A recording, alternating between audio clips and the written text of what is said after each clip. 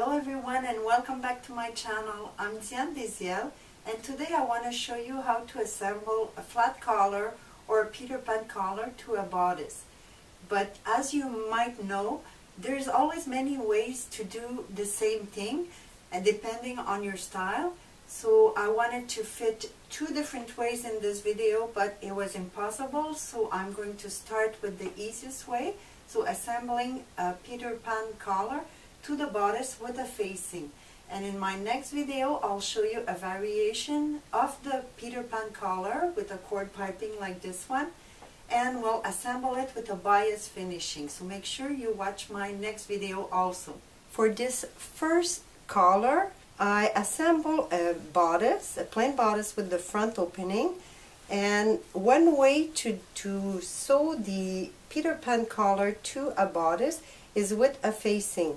So I assemble my front facing to my back facing at the shoulder. That's already done.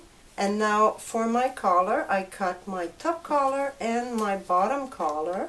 For that one, I did use a fabric manipulation. So I stitched the fabric manipulation to my under to my top collar and I'm going to remove the excess of fabric be created by the manipulation.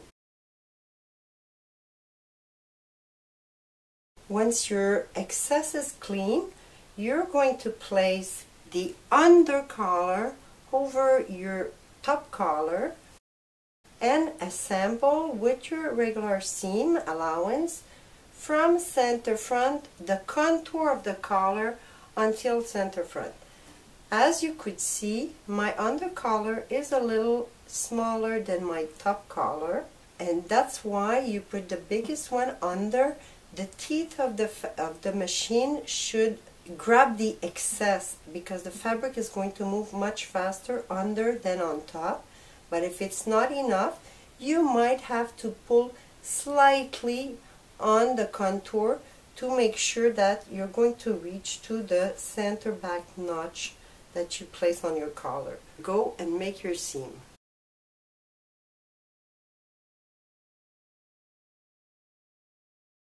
Now that the seam is done, you can see better on that side, you're going to take your time and notch, little V notch, one after the other, very even. So you're going to have a very nice curve when you turn it. If you leave bigger space, the curve is not going to be so soft. So take your time and notch all around the contour of your collar.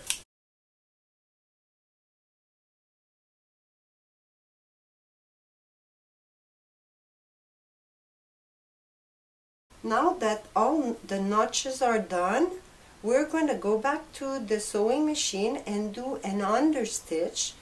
And the understitch is going to be on the under collar at one millimeter from the seam, grabbing all the seam allowance with the understitch. So one millimeter on the under collar.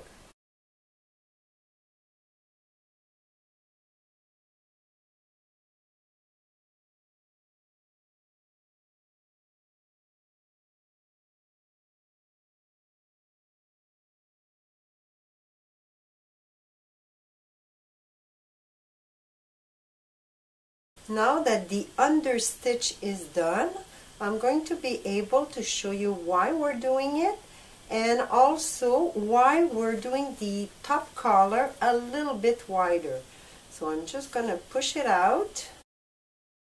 And look, if I put my two neckline together, I'm holding it, I show you the under. You see now the 3 millimeter bigger is going to hide the under layer. So if you use a different fabric color, it's really good and you don't have to center your seam. The under stitch is going to allow you to press without fighting to center the seam because it's pushing already your curve outside. It's pushing the fabric. So really you just have to press it down like that.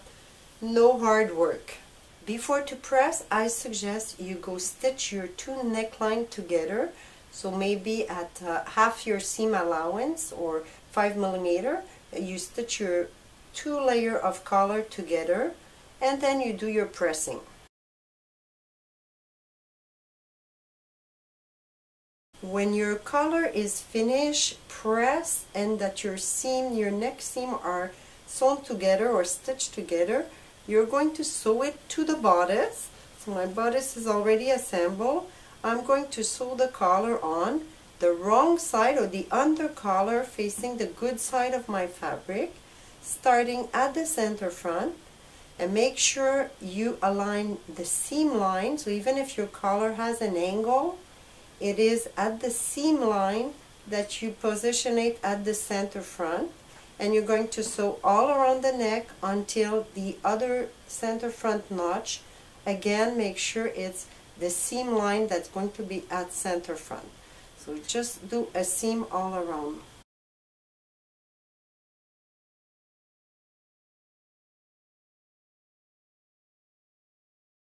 When the collar is sewn to your neck, you're going to take your facing and assemble the facing to the bodice. But we're going to do that assembling in three steps. One side with the facing at the overlap. So you're going to do your seam, open the facing and understitch on the facing at one millimeter. You're going to do that on both sides. Assemble, Open the facing and understitch on the facing at 1 millimeter. We now have the facing attached to the center front on both sides. We have one last seam to do. It's the neckline. So we're going to assemble the neckline together. So face to face, good side with good side. Assemble from one side to the other and make sure that your seam allowance goes towards the facing and your understitch should help you for the direction. So seam allowance towards the facing. We're going to assemble the necklines together.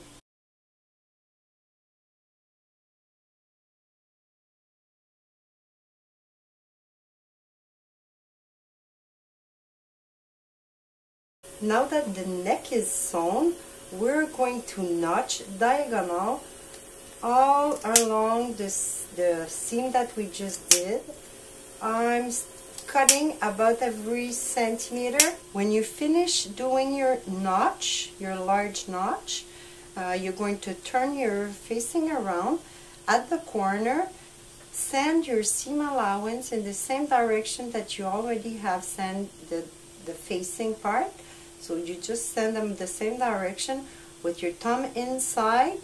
Just use that thickness to push the corner out and you should have a perfect corner because it's a 90 degree. You don't have to cut anything.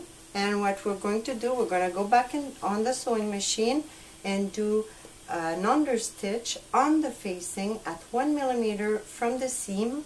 We start as far as we can and we'll finish pretty much at the same distance but this is inside anyway so one millimeter on the facing side